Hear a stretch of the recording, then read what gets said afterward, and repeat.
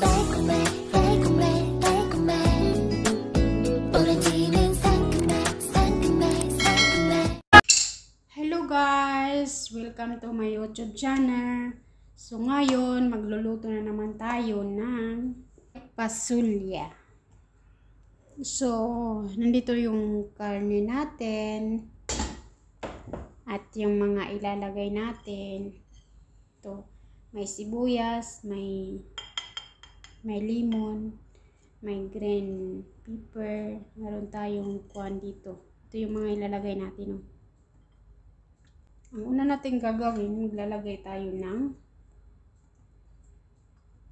olive oil. Palagi akong gumagamit ng olive oil kasi nandito ako sa ibang bansa. So, ayan, nalagay ko na yung oil. Ilalagay ko yung sibuyas, yung lemon na tapos, ito yung dahon. Tsaka hale. Green pepper. Ito siya lahat. Ilalagay ko na. Pan lang to siya guys. Para lang sa karne. Para hindi magbaho. Yan. Lagyan natin yung karne. I-mix natin. Mix.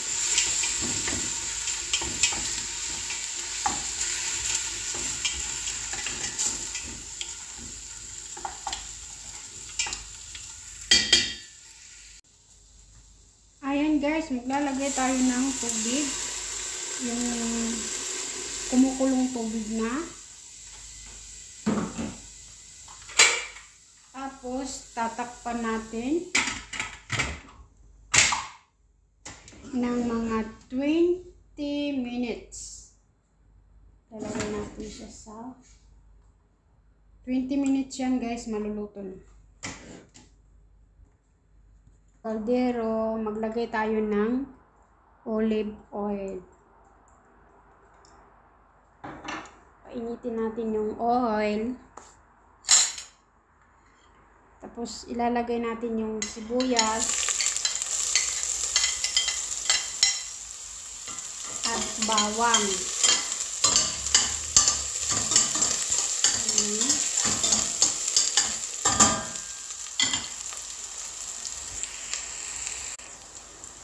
So ayan, ilalagay na natin yung kamatis.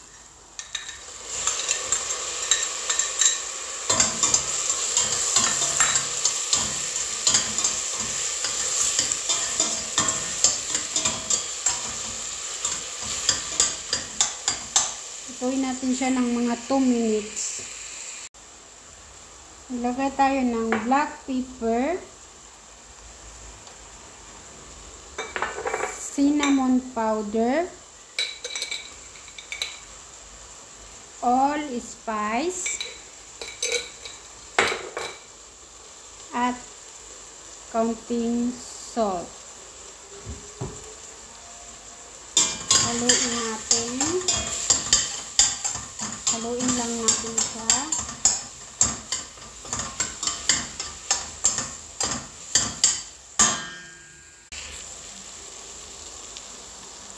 So, di ba, nagpakulo ako ng karne kanina. Ito na yun siya. Luto na yung karne. Lalagay natin yung karne.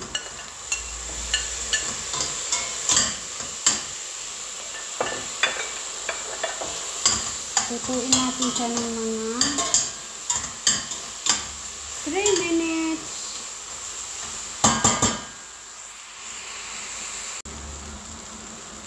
So, ayan, pwede na natin lagyan ng tubig.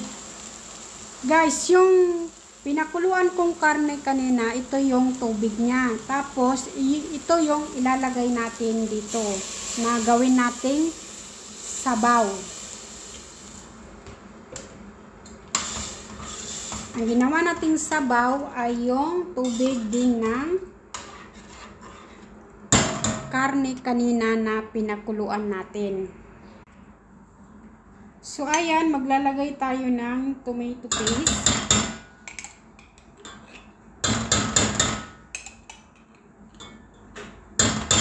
Ayan, naglagay ako ng tatlong kutsara.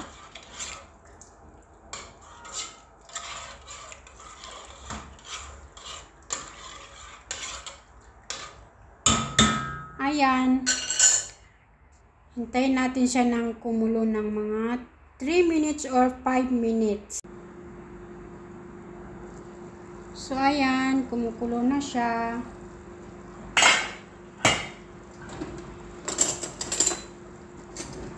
Ilalagay na natin yung white beans. Ito yung lutuin natin, white beans. Lalagay natin.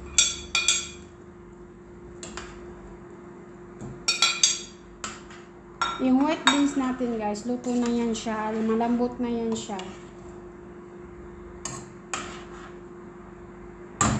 Ayan, hintayin natin maluto. Mga 10 minutes.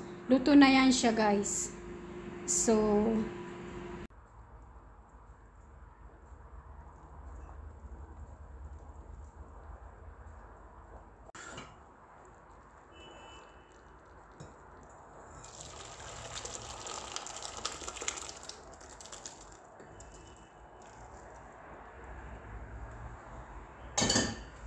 ayan po, luto na.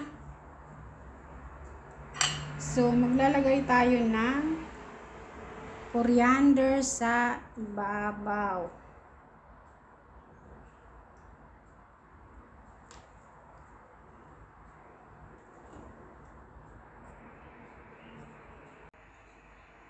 Ayan po siya guys, luto na. Ang sarap niyan, subukan yung luto is Arabic food.